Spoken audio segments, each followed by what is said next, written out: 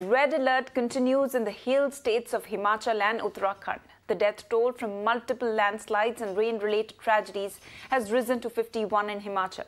14 bodies were recovered from the sites of two landslides in Shimla. Many are still feared trapped with rescue operations hindered by incessant rains. Meanwhile, 19 people died in rain related incidents in the Mandi district. Many roads and rail networks have been blocked houses damaged as monsoon wrath continues to wreak havoc in the hills.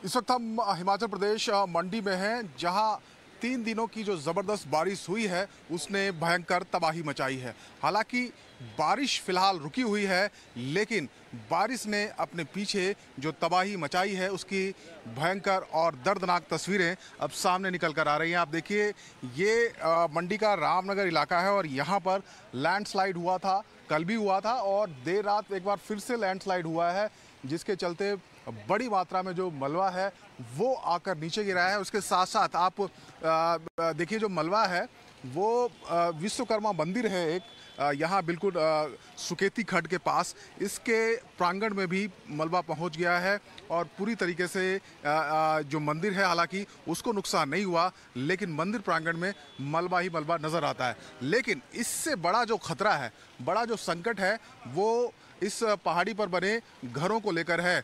आप देखिए, जो घर हैं, उनका कुछ हिस्सा टूटकर नीचे भी गिर चुका है और लगातार अभी भी जो ये पहाड़ी है, इसके दरकने का खतरा है। और घर देखिए, बिल्कुल किनारे पर आ गए हैं। एक घर का एक जो गेट है, जो अगला हिस्सा है, वो टूटकर नीचे भी गिरा है। आप देख सकते हैं तस्वीरों में। और बाकी जो मकान हैं, जो इसके साथ साथ हैं, अब इनके घर गिरने का भी खतरा पैदा हो गया है। तो बारिश और बाढ़ से लगातार हालात हिमाचल प्रदेश में ख़राब हुए हैं।